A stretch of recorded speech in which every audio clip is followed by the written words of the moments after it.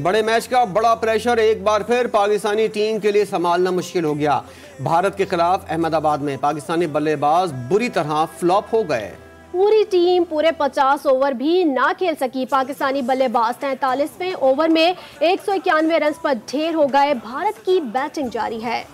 अंस की चाल चलने की कोशिश हलक में आ गई। अहमदाबाद में पाकिस्तानी बैटिंग लाइन मुकम्मल फ्लॉप हो गई। चार बड़े बल्लेबाजों ने विकेट पर विकेट खो दी। अब्दुल्ला शफीक एक मैच के हीरो निकले। 20 रन बनाकर भारत के खिलाफ चलते बने। इमामुल हक ने भी 36 रन बनाकर बस कर दी। बाबर आज़म और मोहम्मद रिजवान ने विकेट पर वक्त गुजारा। बाबर आज़म पचास रन बनाकर आउट हुए तो लाइन ही लग गई। मोहम्मद नवाज़ ने चार रन बनाए। मोहम्मद रिजवान उम्मीदों का मरकज बने, लेकिन उनचास रन पर वो भी विकेट गंवा बैठे। हसन अली बारह और हारिस रऊफ दो रन बनाकर आउट हुए तो पाकिस्तान की इनिंग एक सौ इक्यानवे रन पर सिमट गई।